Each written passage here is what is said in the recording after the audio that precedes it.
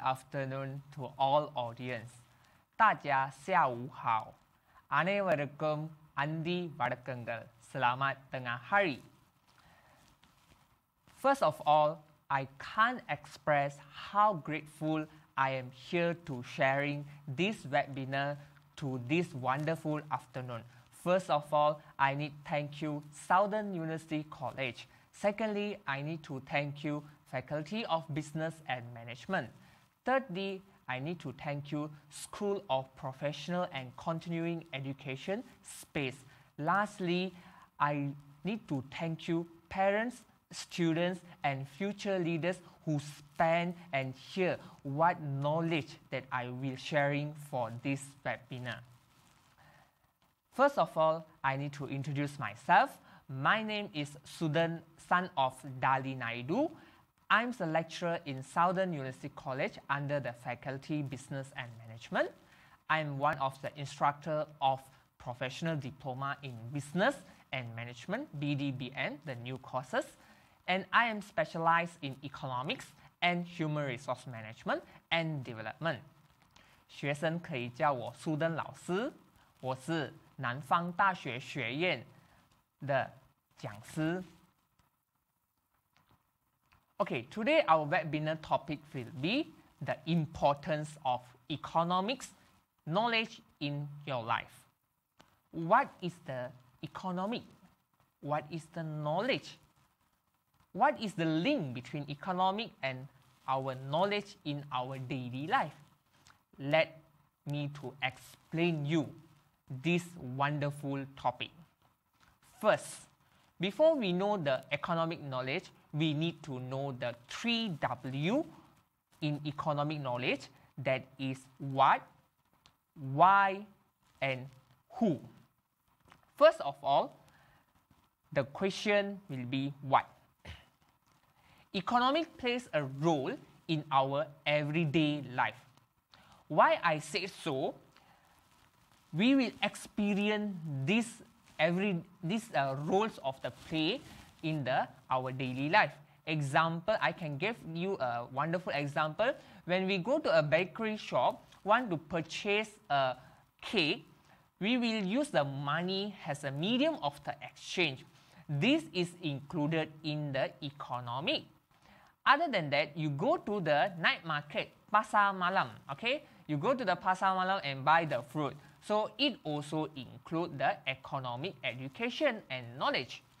Studying economic enhance and enables to understand the past, the future, the current models and apply them a reality and government and business and individual. The second question will be why. This inquiry into causes and effect and relationship in key to influencing the economic growth because economic growth is related with the GDP. What is that GDP? Growth of domestic product to evaluate our current situation of the economic and standard of the life. Economic will look at right and benefit on people, on job market and society when advertising how to allocate all the resources without the wasting because we need to do our business and our economy in the efficiency way. Here I listing most six reasons why we need to study economic and important. Firstly, you will expand your vocabulary. Secondly, you will put new terms into practices. Thirdly, you will understanding your own spending habits. Fourth, you will learn how to leverage economic tools. Fifth, you will be better prepared for graduate school. And lastly, you will improve your career or the pro prospect for your future. Let's I explain one by one. Okay, for the expand your vocabulary, what is the link with the economic, with the vocabulary? Okay, first of all, whether it is a scarcity, scarcity is the limited of the resources An opportunity cost must give give up to obtain one product with another product or equilibrium the price which demand meet the equal of the supply. And economic course will give you fluency in the fundamental and the terms needed to understand how market works in the daily life. Other than that, even if you don't use this word often in your current roles or life, studying this economic term will give you a better understanding and then of the market dynamic as a whole and how they, uh, we can apply in the organization. Secondly, you will put in the new terms into practices. Economic is not just learning fancy set of the words. It is actually into them to develop a variable business strategy. When you understand these terms and keywords, you can use theories and framework like SWOT, S-W-O-T, SWOT analysis to assess the situation and make a variety of the economic decision for your organization like whether you persuade a bundle of the unbundled pricing model and for the best way to maximizing the resources and maximizing the profit. The third one, you will understand your own spending habit. I'm sure all of you have this experience, okay, spending habit, okay. So, economic will teach you uh, how you organize, okay, your own resources to purchase goods and services. For example, willingness to pay, okay, willingness to pay to maximizing amount someone who willing to pay for goods and services. Therefore, a frequency, a gap between hypothetical actual willing to pay and learning about to help you decode and then own behavior and pattern of the purchase, the sound of the decision. For example, I can say you one of the philosophers said so. Okay, this is a Bentham, uh, philo uh, one of the philosophers said, a simple grocery store visit become filled with economic reference and analytical ponders. Okay, so this is the say by the Bentham. Okay, fourth, you will learn how to leverage the economic tools. this is very important because why? all of us want to um, do the business, okay, earn more money. So if you learn economic and don't know how to leverage the tools, so you might be face the failure. So learning economic theory is one of the thing, but developing a tool is the make the business decision is another. Economic will teach you a basic and give you concrete tool of the analysis. For example, conjoint analysis is the statistical approach to measuring the consumer demand and specific product feature. A tool will allow to get you the strategic and then complicated feature versus the price trade-off to the customer make everyday life. For example, okay, I can give you the example. Imagine you are the iPhone owner, okay? You want to know what part of the iPhone should be improved, whether the battery, whether the size of the screen, whether the camera quality, whether the color, whether the size or weight of the iPhone. So all this is the leverage of the economic tool to do, do the best decision. The fifth one is the better prepare for the graduate school. All of us want to uh, further our uh, study uh, after degree, then we go to the master level, then we go to the PhD level. So, in an additional to help you make a better decision in both in the personal and professional life. Okay, learning economic is also beneficial if you are considering graduate in the business degree. So students who want to persuade in the business degree, they need a strong base of the economic foundation. Studying economic can equip you with a problem solving and then a skill, technical knowledge to, uh, to improve and then prepare for your MBA further study. Furthermore, with a foundation of the knowledge, economic, you will be able use all the economic theory and framework to decide which one is the best and worst. So that is the we call analytical analysis. the last one is improving your career prospect. So an education in economic can improve you in the employability in a variety of the industry. You can go to all the industry with the economic theory. According, okay, this is the small research that I read from a journal. According to the World Economic Forum, Future on the Job Report, analytical thinking and complex problem solving skill top the list of the skill that employees will find increasingly important by 2025. Both of these can be gained by studying economic. So our future will be challenges guys. So thinking about it.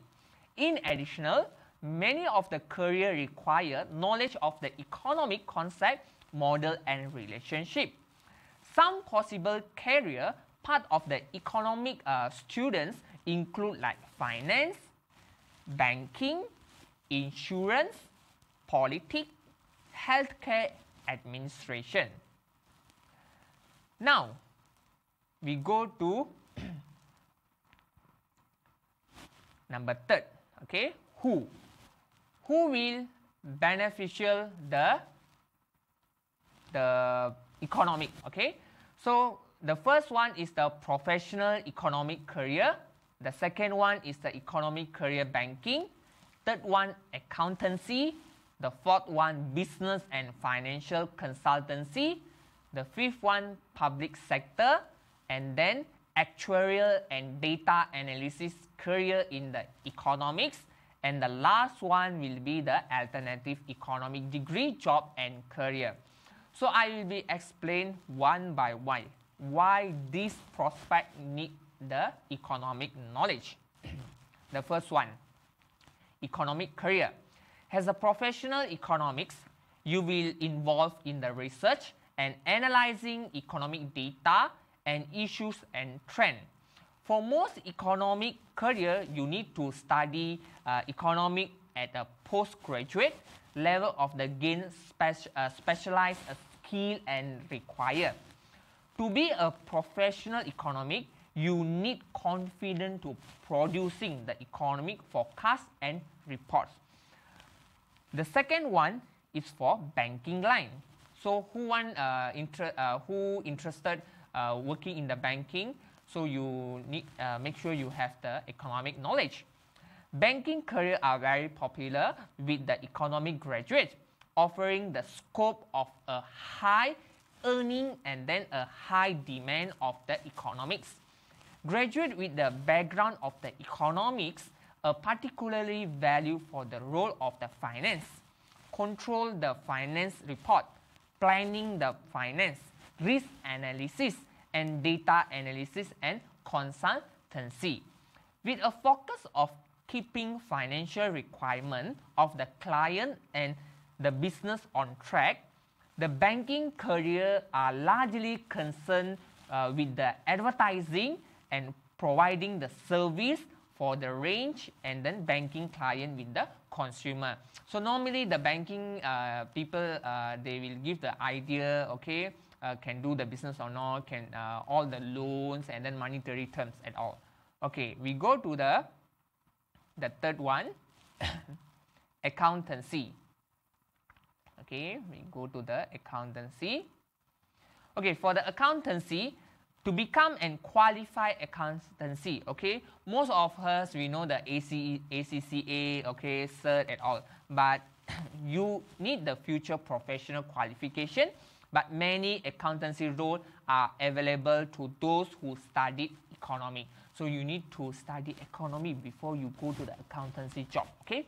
In accountancy role, you can also work across the multi-industry focusing on the monitoring the financial situation and organization, business and individual. Career in the accountancy typically uh, focus on the uh, recording, classifying, interpreting the data, and then communicate, uh, communicating the financial data. So all these economic graduate under the accountancy often able to make sense uh, of a complex of the data set and identify the root or strong basement of the financial problem, making them good matches for the accountancy role. Number four, economic career in business and financial consultancy. okay, economic are economics expert. Okay, are the heart of the business world and financial consulting. They consult us. Okay, all the strategy. Okay, uh, the way we do the business to invest. Okay, we, when you need to invest, uh, uh, the better profit you will get. Okay, we cannot invest uh, simply. Okay, and then economic graduate may find the position in the large and medium size organization where economic research is required. Okay, the role of an economic research requires in-depth of the knowledge of the economic theories and model. Okay, throughout the uh, analytical uh, and problem solving, the skill and mathematical ability. Up to date, the industry knowledge and awareness, the corporate finance essential in these roles. Next, we go to the number five economic career in the public sector. Okay, this is more uh, related with the government. Okay, so in this diagram you can see Bank Negara Malaysia. Okay, Bank Negara Malaysia. This is the one of the biggest uh, uh, sector. Okay, to to monitoring our economic. Okay. For those who study economic will be valued in the area of the public and private spending including the role within the pricing and risk analysis, financial contingency, and economic planning. Okay, economic career in the public sector are often involved in the public taxation. Okay, so when you want to help your friend do the taxation, you need to know the basic economic knowledge first. Okay, and then the transportation, uh, and then uh, commercial, waste service, and then energy and other form of the government spending. So guys, remember, for Malaysia, the biggest component is a government spending. Okay, the component, uh, the biggest spending is the government spending. That's why the public sector, the economic theory is much very good and very clear in depth. Okay, and then the last, I think not last, number six, okay, actuarial and data analysis career in the economy.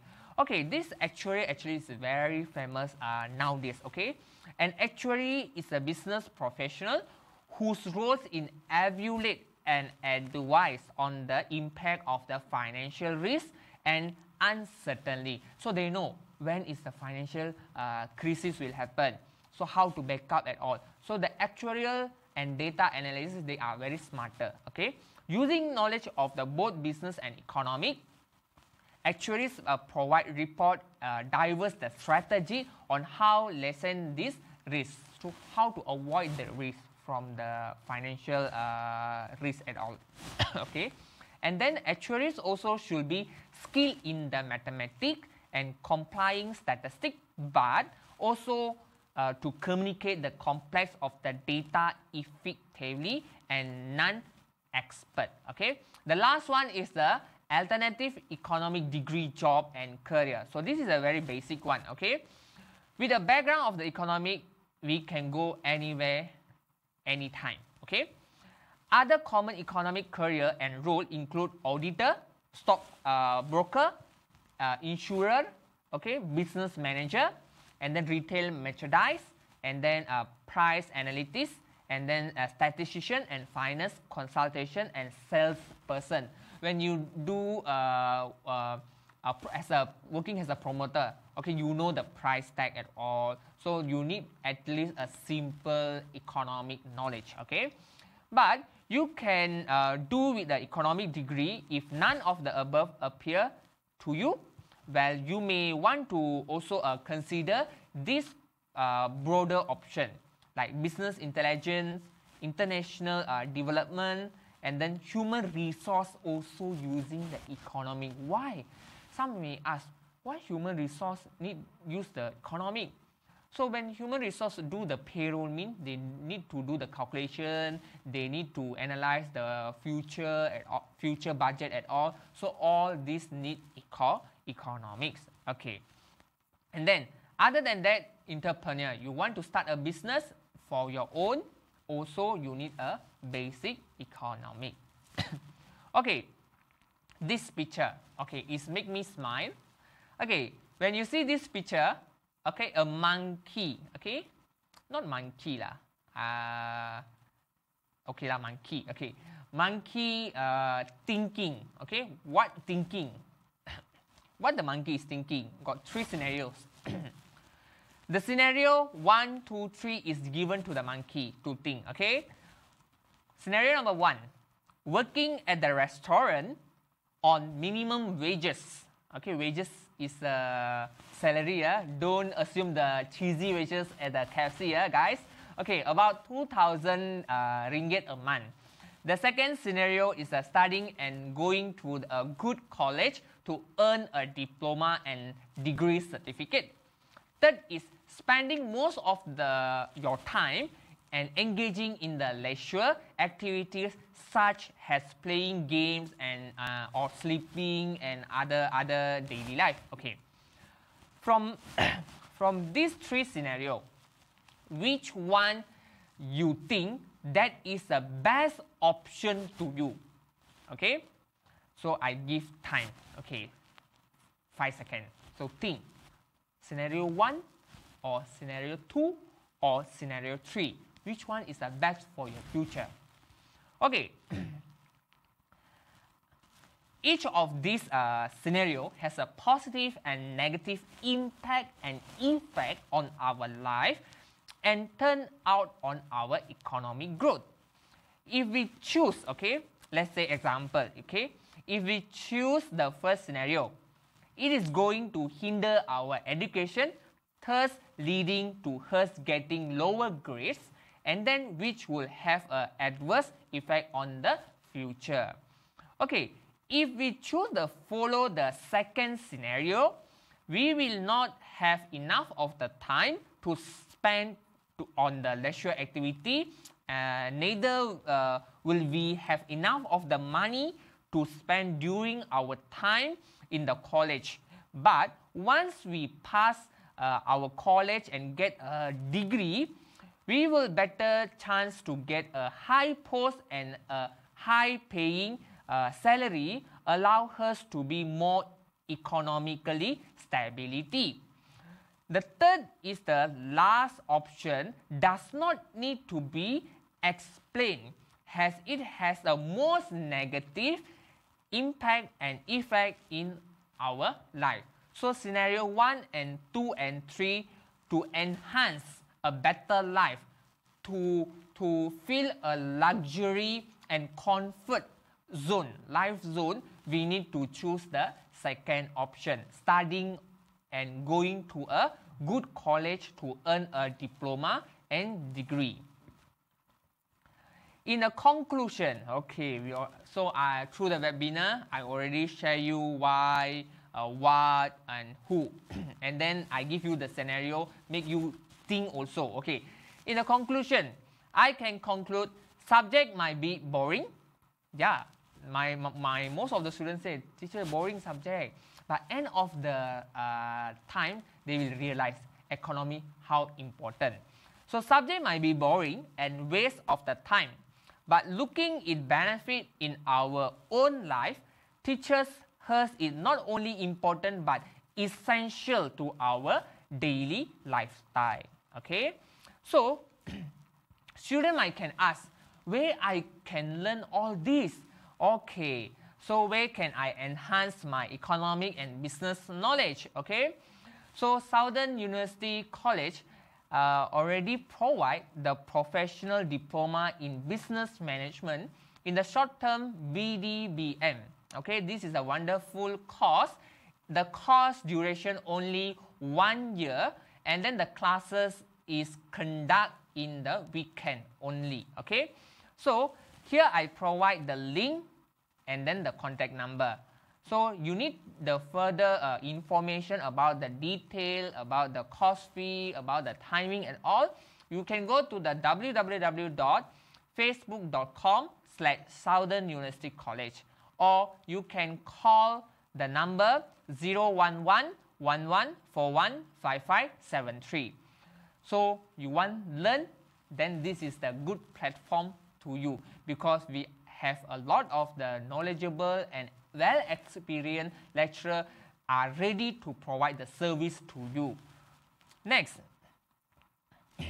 okay, this is my last slide, okay. okay, this is the philosophy that I always uh, bring where I uh, go and at all. Okay, my philosophy is uh, very simple. Let's learn and let go the L and finally you will earn. The more knowledge that you learn, the more money you will earn. Are you ready to learn and earn? Because we are ready to provide the service to you. Thank you very much.